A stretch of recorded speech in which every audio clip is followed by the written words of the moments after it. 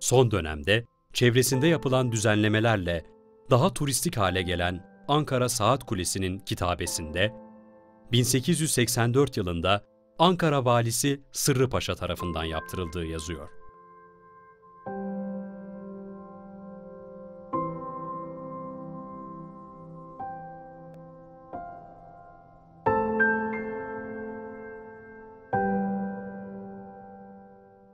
Kale Mahallesi'nde yaşayan insanlar için çok büyük bir önem var. Özellikle çocukluğu kalede geçmiş e, tarihini söylemiştik. 1884 tarihinde yapılmıştı.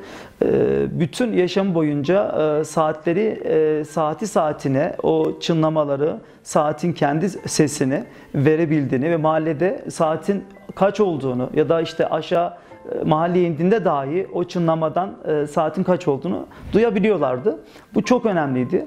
E, çünkü e, mekanik saatler o tarihlerde bu kadar gelişmiş değildi ve biz saatleri insanlar o tarihlerde saat kulelerinden e, öğrenebiliyorduk. Bir de görsel olarak da tabii ki yakınındaysanız hemen kadranlarına bakıyordunuz ama aynı zamanda o saatin belli saatlerde özellikle vurmasıyla, zemberinin vurmasıyla saatin de kaç olduğunu anlayabiliyorduk. Saat kulesinin bence diğer bir önemli özelliği Burada Osmanlı döneminin e, ticaretinin geçtiği, hanların bulunduğu, e, Ankara'nın e, belki de turistik açıdan bir cazibe merkezi olan en önemli noktasının geçiş noktasına yapılmış olmasıdır. Bu çok önemli. Çünkü gelen bütün yurt dışı ziyaretçileri, Ankara'ya dışarıdan gelen, Ankara'yı tanıyan, bilen ya da bilmeyen tüm ziyaretçilerin e, mutlaka kaleye uğraması gerektiğini yine düşünüyorum. Çünkü kale e, bambaşka bir atmosfer demek. Ankara Kalesi Osmanlı ile birlikte Selçuklu'yu, ondan önceki kültürleri tanıma fırsatı demek.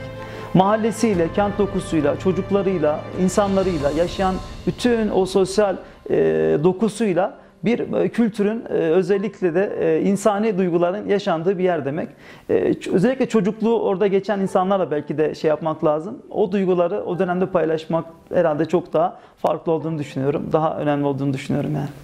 Ankara Saat Kulesi, Ankara Tarihi Kent Merkezi dokusu içerisinde ve Ankara'ya e, önem veren, ona değer katan e, tarihi bir dokunun tam merkezinde yer almaktadır.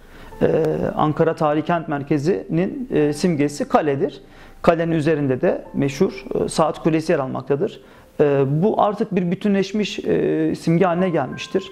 Onun için Ankara Kalesi ile saati yani hiç ayırmamak lazım bence. Yani kaleye çıktığınızda ilk sizi karşılayacak olan mimari unsur sekizgen altyapıyla yukarı doğru yükselen hemen dış kaleden iç kaleye girişteki saat kulesi olacaktır. Hem zamana tanıklık etmekte hem de geçmişten geleceğe gelen bir köprü görevi görmektedir. Ankara'yı ziyaret edecek olan tüm misafirlere, bütün çalışanlar özellikle akademik olur ya da ilk ziyaretler olabilir, e, turistik amaçla gel, gelmiş olabilir ya da kısa ziyaretlerle ya da bir akraba ziyaretine dahi gelse Ankara Kalesi'ne mutlak uğranmasını, Ankara Saat Kalesi'ni görmelerini, Ankara Kalesi içindeki hanları mutlaka görmeleri gerektiğini düşünüyorum. Özellikle 10 yıl içerisinde kalede yapılan ciddi anlamdaki restorasyonlarla Ankara Kalesi ciddi anlamda e, önemli bir şeye kavuştu. Yani turistik anlamda cazibe merkezi oldu. Bu anlamda mutlaka görmeniz gerektiğini düşünüyorum.